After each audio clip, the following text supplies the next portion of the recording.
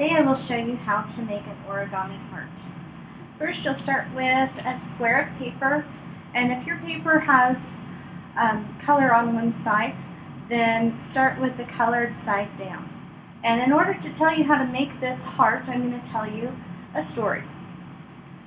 Once upon a time there was a man who was on a quest for treasure. And so he had a treasure map. So we're going to start off and we're going to create this treasure map by folding our paper in half. And folding our paper in half the other way.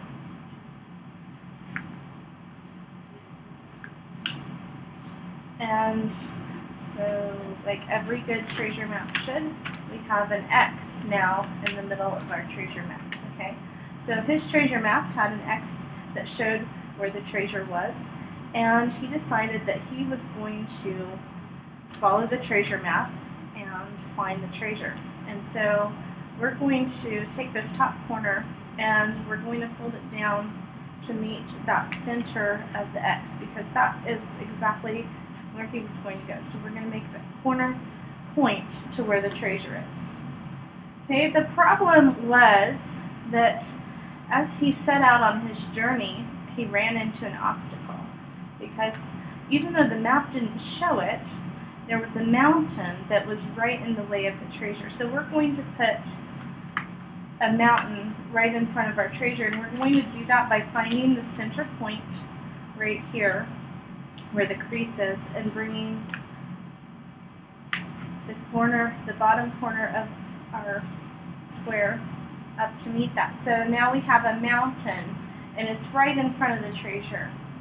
Um, actually, the treasure, as it turns out, was at the very top of the mountain, so right at this point, okay? And so the man decided that he was going to climb the mountain because he really wanted to get to that treasure. And so he started way at the bottom of the mountain, find the little point, the very corner of the bottom of the mountain. And he decided to climb all the way up to the top. So you're going to move the bottom corner of the mountain up to the top point, just like that. So make sure that they match and crease it in place. Okay? What this man did not know was that he did not have the only copy of the treasure map.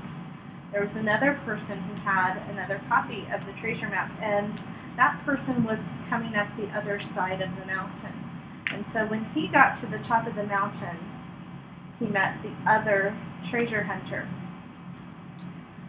And he might have become very selfish and had a fight for the treasure, but instead, when he got to the top, his eyes were opened, and so we're going to hold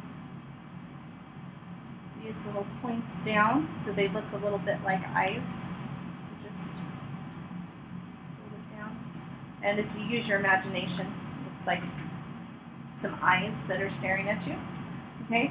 And his eyes were open and the corners of his heart were softened. So find this little edge right here and we're going to make a crease right there to fold in the corners of the heart. Because the corners of his heart were, were softened. Okay? So the corners of his heart were softened, and he decided to share the treasure. And what a loving thing to do. How wonderful. Okay? So here's your heart, and if you wanted to, you could open it up and you could put a secret message inside for somebody. But that's up to you.